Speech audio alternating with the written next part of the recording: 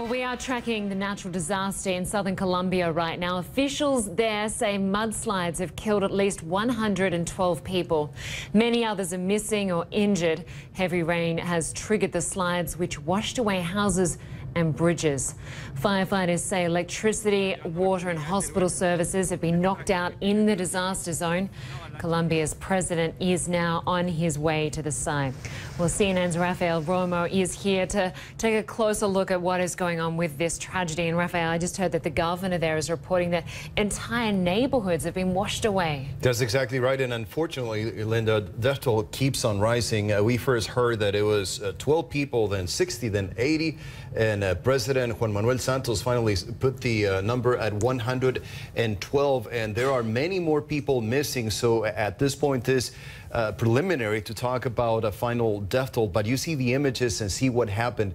There are three rivers around the town of Mocoa. This is in the province of Putumayo in southern Colombia. The rivers overflowed last night, and this is what happened. You see the images of devastation there. Many houses completely, completely flattened, and uh, many people who are still missing. Now, Linda, what happened, according to President Juan Manuel Santos, in a whole month in this area, they get 400 millimeters of rain. Last night alone, they got 130 millimeters, meaning 30% of the rain that they get in a whole month, they got it in a single night. And so the rivers around the community overflowed uh, and, and uh, we had a series of mudslides and, and, and flooding uh, that flattened many of these homes. And, and at this point, the president has just arrived in the area and the, the search and rescue crews are beginning their work. Yeah, we can just see those pictures of the military rescue underway. Police have also been deployed to help.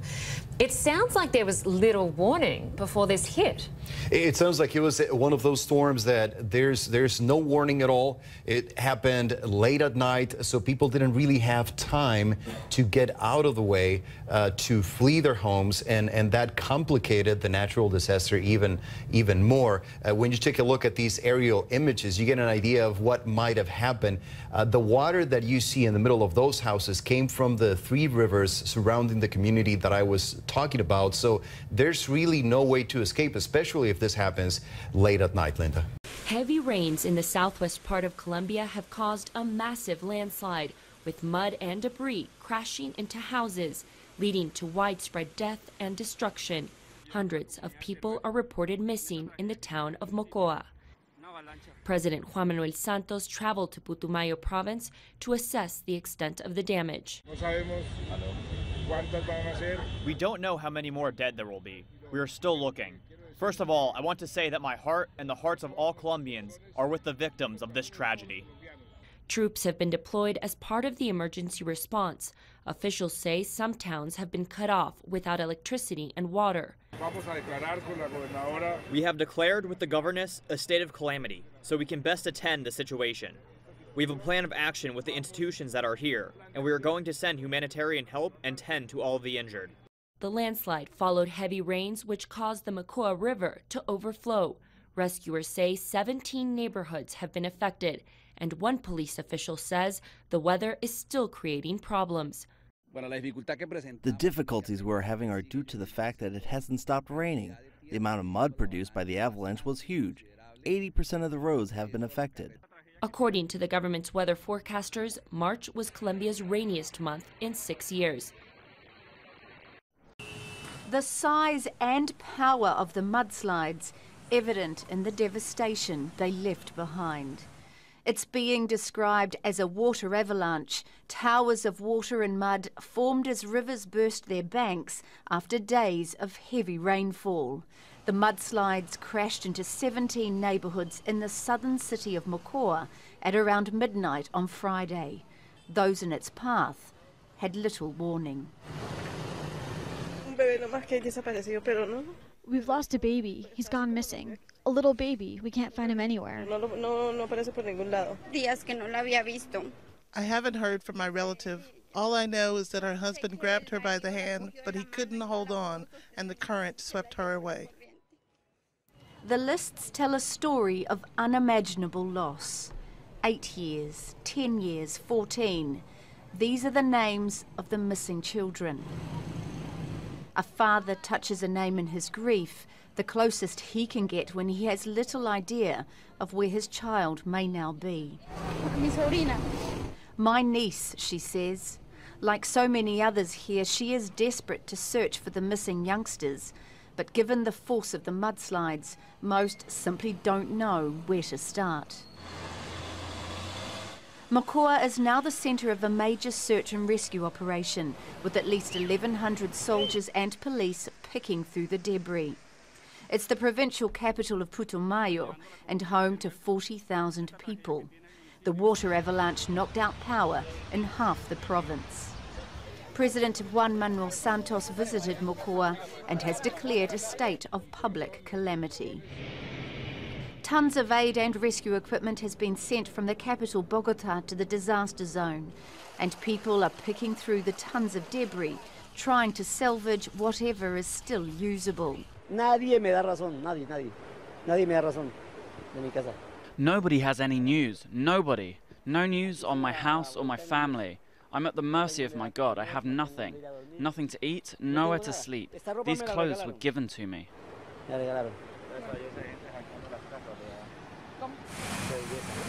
The scale of the devastation and loss is for many here incomprehensible. They know the chances of survival are slim, but still cling to the hope that their loved ones may still be found alive. Miriam Nahond, Al Jazeera.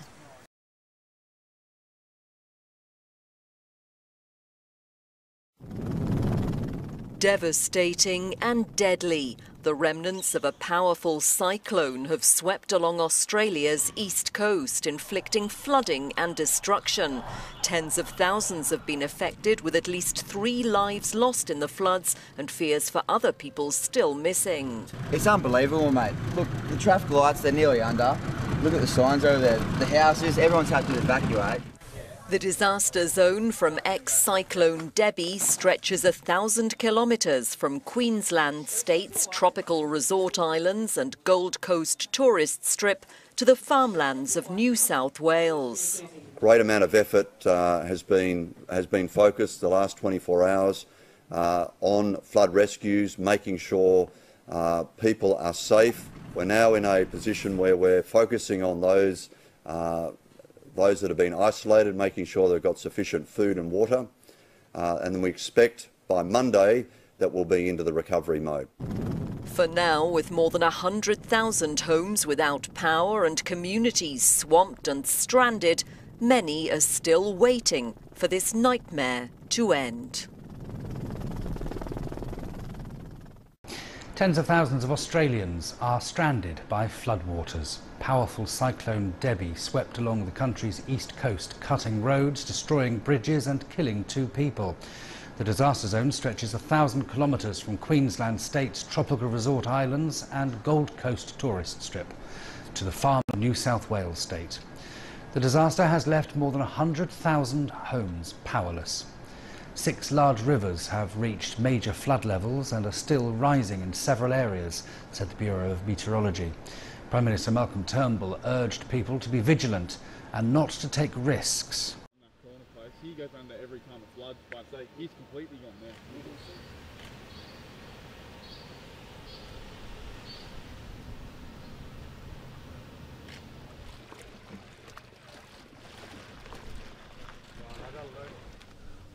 most of my stuff got still left there and it'll all be gone the water went up to the top of the windows.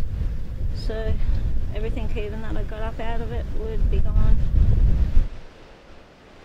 When I came down here a couple of hours ago this morning the uh, the water down there was up to the roof line on the shed and there's a house behind the shed that we can't see we can't even see the roof of the house. So don't know whether the house is still there or whether it's actually gone this time.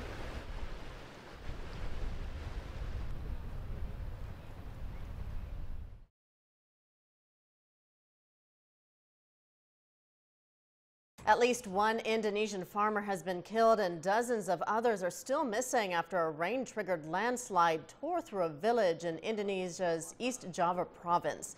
A spokesperson for the country's disaster mitigation agency said dozens of people were buried by the landslide.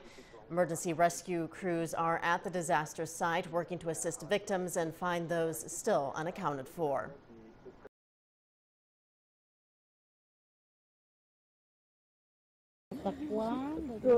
In Pedregal Chico, Peru, dry land is hard to find. The rain has not fallen in several days, but the Piura River is still overflowing, and residents are struggling to cope. I am carrying him to where it is dry because he was drowning and I am rescuing him, taking him to safety so that he doesn't drown. The El Nino weather phenomenon has unleashed torrential downpours in recent weeks, affecting nearly 900,000 people across Peru and killing at least 98. A state of emergency is underway here, and 25 tons of humanitarian aid have been delivered, but residents say it's not enough. Ido en el agua, no hemos podido sacar nada. Nada, no hemos podido, todito las casas se nos, han- nos han ido en agua, los animales, señorito. Volunteers are doing what they can, but they say without more government help, recovery is likely a long way off.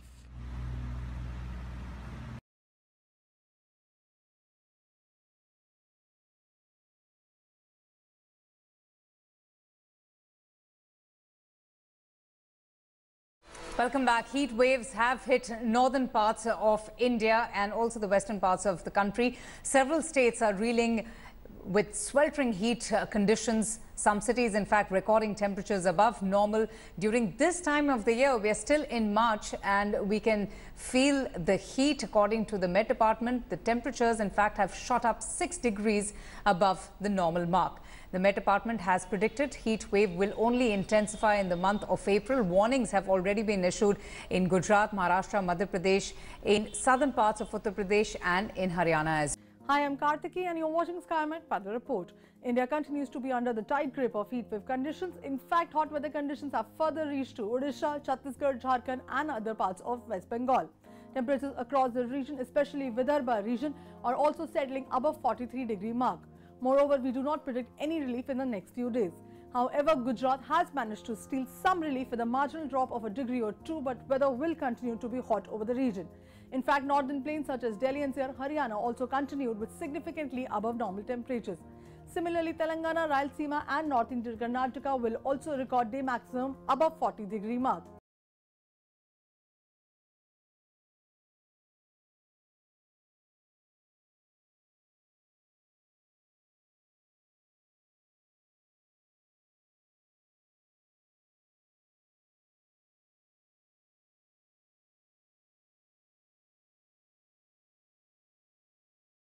California is not short of coastline, and therein lies a problem. Because waves lapping at the shore might sound romantic now in 2017. Give it a few decades, it could be disastrous further inland. After years of drought, the heavy rain came to California this winter. And with ocean levels rising, experts are worried about what happens next. It will affect everyone. They've been monitoring the sea levels here for years, and here's what the science says. Sea level is rising, and it's rising faster than ever before in modern history. The prognosis is not good. Right now, we have problems of flooding from storm surges, from El Ninos, from high tides, waves superimposed upon high tides, and of course, events like Sandy and Katrina. And, and the, the frequency of those events, the intensity of those events will increase with climate change, and they will be superimposed upon a higher stand of sea level. So they have more destructive power. That is the Pacific coast, and look at that. What an amazing view. If you live up here on higher ground, you're going to be paying an absolute fortune for that view, but you're also going to be much safer. If you live on lower ground, then time is very slowly running out. In fact, experts say by the end of this century, some 13 million people living along US coastlines will be forced to move to higher ground. And we're not just talking about homes here, that would be bad enough. We're also talking about all of those things that keep a city ticking along. Refineries bringing gas to US cars, huge airports built near the coast, relocating, ocean proofing, building major infrastructure, all of it costly. Long term, this is, this is going to be billions of dollars. That's the assessment of this expert who raises another critical issue.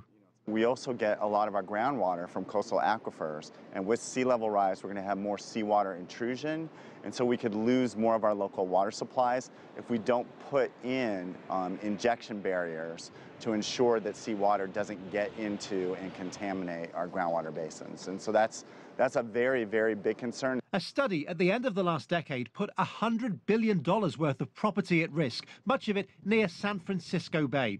Add to the mix any damage from a major earthquake or a potential tsunami, and the worry is real. The melting Arctic glaciers may be a long way from here, but the tide is turning around the world, and it is coming ever closer. Phil Lavelle, CGTN, Los Angeles. Two out of every three Africans lives without electricity.